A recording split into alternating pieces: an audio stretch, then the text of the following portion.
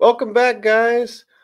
Um, I think we need to have a sit down and chat, possibly a come to Jesus moment where we actually take our biases aside and talk about what the real issues that we're seeing in everyday entertainment are. Whoa! Now, there used to be a time where I'm going to bring up the word politics. I know we don't normally talk politics. I know I'm not taking a single side in this at all. But there's a time when entertainers and people in the entertainment industry did not talk about who they vote for. They didn't talk about who they supported for the president that will be gone in four years or eight years if that particular person's preference was lucky. No, it used to be about the entertainment itself, the movie, the music, the TV show, the book they were writing. When they went on press tours, they didn't involve their personal stuff with it. And politics is personal. It develop I mean it affects your personal life.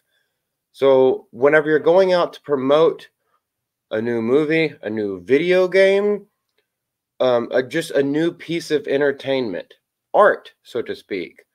Why are you involving outside things into that? And that's what we're going to talk about a little bit about today because we're seeing it from both sides.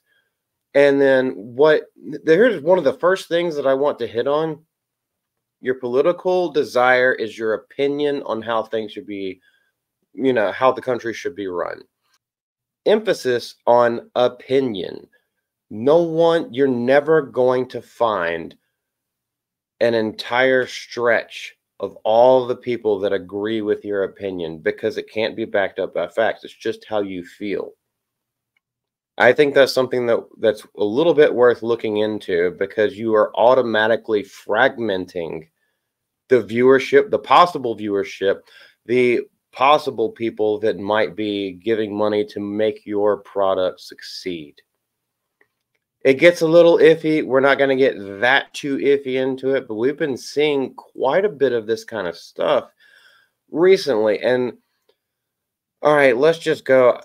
Let's start off with this because I've been talking about Dragon Age for for a long time. So we have the new game director is trans, and that's rad. Okay.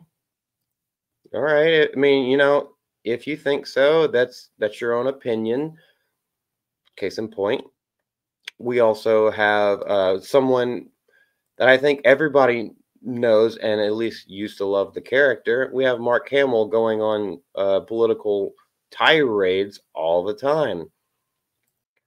We now have this Zachary Levi endorsing someone of the other uh, side of the aisle after RFK suspends his campaign. Now, the reason why I bring up both sides of the owl is because they are treated vastly differently.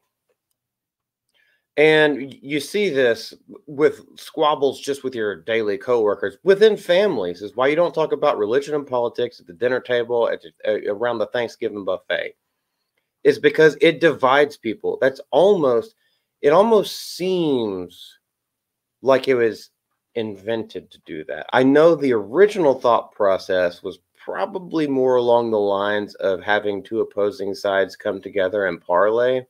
But that is not what we have turned it into because we've made everything personal.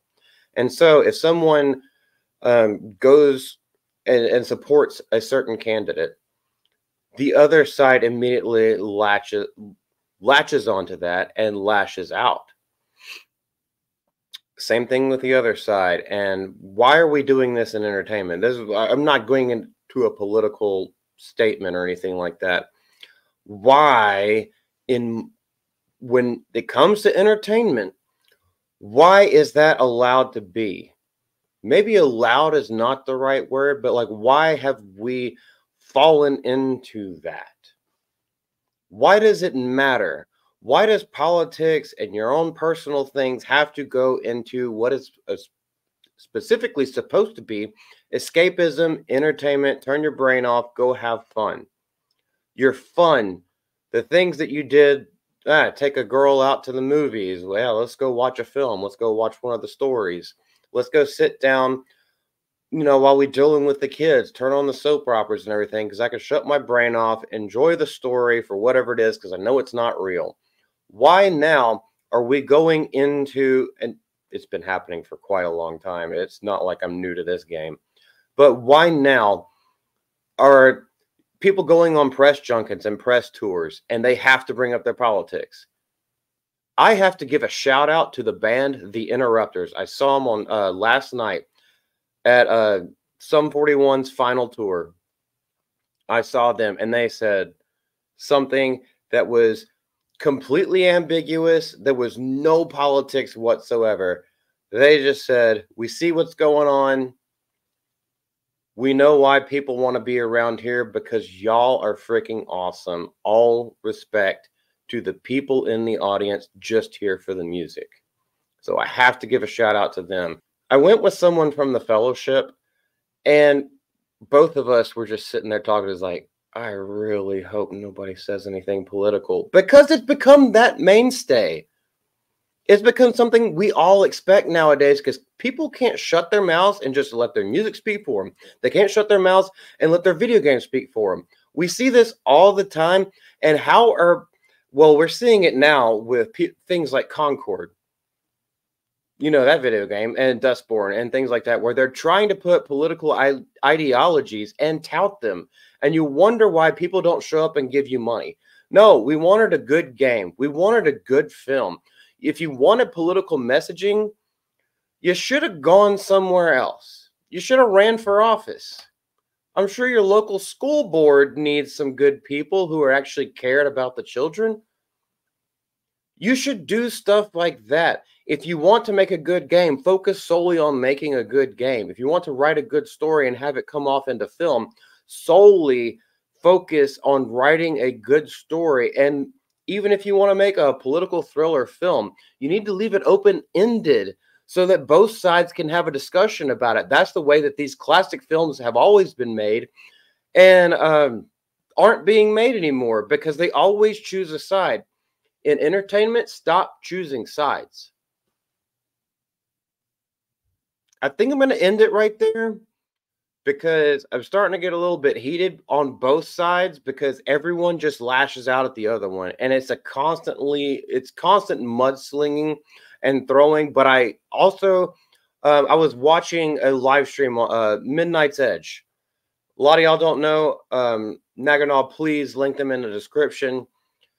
I was watching them and I think the guy's name was Sparky who was talking He's like no if they are allowing like one of the game directors or one of the ex lead writers or anything to go out and do interviews and they're publishing this and they're not, you know, making retracting statements or anything, I am not buying your thing anymore.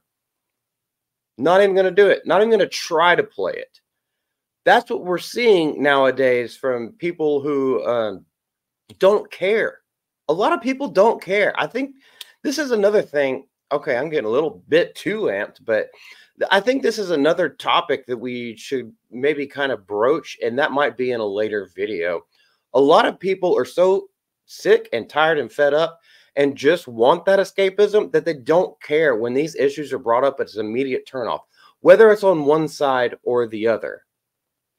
And so that's why I leave it with y'all today. I I hope there's a hearty discussion. I hope everyone is respectful to each other but I just don't see why it had why politics, why personal preferences have any seat at the table when it comes to discussions about our entertainment. Let me know what you think. Uh, we can always do follow ups. And until next time, I'm Malty. Y'all take care.